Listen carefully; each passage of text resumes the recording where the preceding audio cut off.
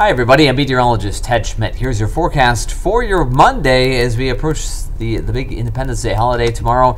The heat is building. Look for high temperatures today around 91 if we get there, if we get to 90 at all it'll be the first time this year in Rochester that we would have officially reached 90 degrees. It's actually been a while.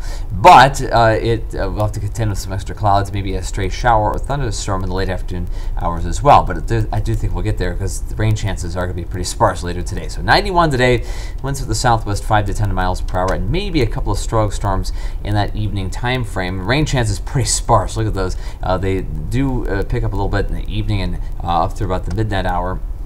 Tonight, uh, showers, a couple thunderstorms in the evening, maybe a couple leftovers uh, storms beyond midnight hour. Look for lows around 66 with partly cloudy skies. Severe weather risk today, level 1 of 5 from the Storm Prediction Center, primarily along and north of Interstate 90.